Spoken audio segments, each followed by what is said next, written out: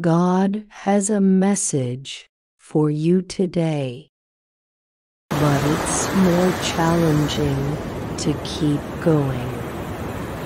Everything is possible with me. I am with you always. I declare that today is a new day and you are going to do something special in my life. In Jesus' name. Amen.